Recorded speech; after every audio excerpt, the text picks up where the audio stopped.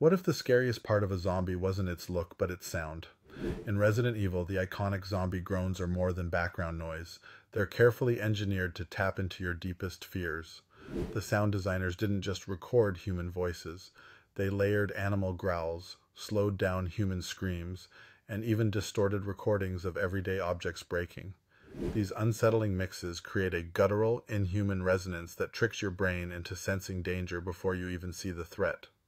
The developers consulted with neuroscientists to understand which frequencies trigger anxiety and fear, ensuring each groan sends chills down your spine.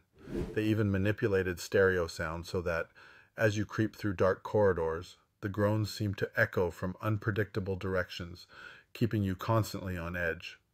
This scientific approach to sound design is a major reason why Resident Evil's horror feels so real. Next time you play, close your eyes and listen. Those groans are designed to haunt you. If you love learning what makes games terrifying, like and subscribe for more deep dives.